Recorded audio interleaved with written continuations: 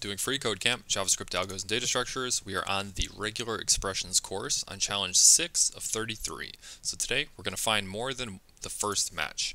Um, so in the previous lesson, we learned about the match method and how we can use it to find, uh, to get back an array of matches out of a string, right? So in this example, we can see we have a string, test string, and it's equal to repeat, repeat, repeat. We then have a regex that looks for the, the word repeat capital R. We then take our test string and we match regex, match our regex, which is our expression, and the output of this method call, this function call of the regex match method, this would return the array with one value repeat. Okay, we would just get it once, even though there's three of them, um, because we just used this expression, forward slash repeat, forward slash. So it only returns to us an array of the first match. So what this lesson is teaching us is that we can add a new flag, which as we learned, a flag is just a something that represents something to change the behavior of this expression. So we can add a, with the previous flag we learned about was the I to ignore case. So we would find repeat, uh, forward slash repeat, forward slash, and add an I here. And that would find any word repeat, any case, capital or lowercase there's a new flag that we're learning about now. That's the G flag. So you can see forward slash repeat forward slash G. That G stands for global. So it's going to find all the repeating matches, right, globally within the string, not just the first one. If you do not add the G at, after the forward slash word forward slash, it's only going to return to you, the match will, the match method, it will only return to you an array of the first match. Okay? If you add the G, it'll return to you an array of every match across the string, right? Globally within the string, every match.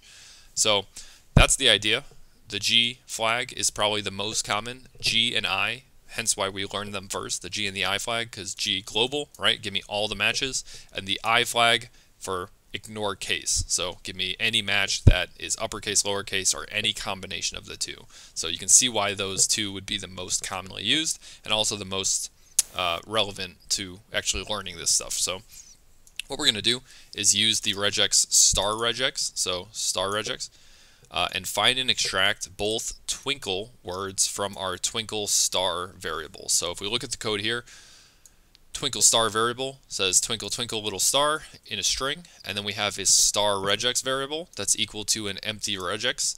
And then we have once again our result variable that's going to be equal to our method our function call our actual method call of this match method. So thusly result will be equal to whatever that method the match returns to us which as we know is going to be an array of matches. So all we have to do here is, first off, once again, let's change our expression to actually target what we need to target. So here we can see we're targeting the word twinkle.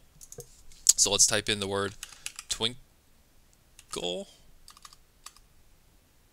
Wait, twinkle, like that. Okay, twinkle. And now uh, we want to make sure it grabs every instance of the word twinkle. So not just the first one, we need all the matches. So let's add the G flag to grab all globally. So now we're going to get any matches back. But if we look at our string here, we can see the first one is capital T twinkle, the second one is lowercase t, t twinkle. So we need to ignore case as well because the prompt here told us to extract both of the words. And as I can see, both of them are different. So I need to also ignore case. And oh, sure enough, if I had just read the prompt, it says you can have multiple flags on your regex by just like that, right?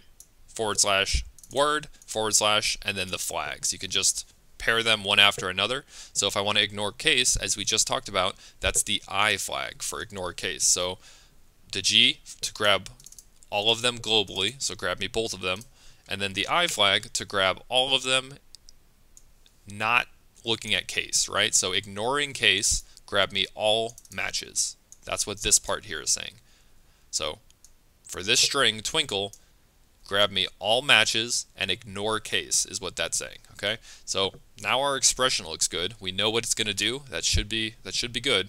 Now we just need to change the result to be our actual method to actually call the method. So as we know with the match method, we take this string, test string, and we call the dot match method on it, and we pass dot match the actual expression, the actual regex. So result is going to be equal to the string dot match.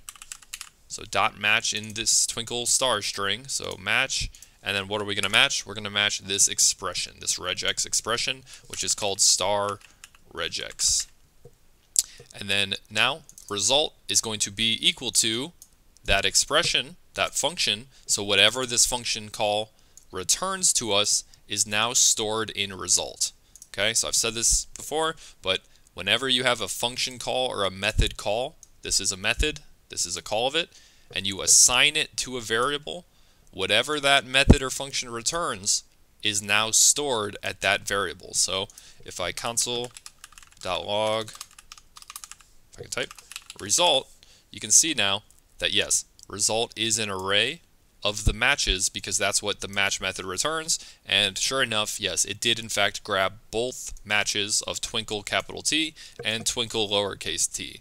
Because once again, G for global, so grab me both of them, it did. And then the I to grab both of them, any match really, uh, ignoring case. So lowercase and capital, and also any combination of the two.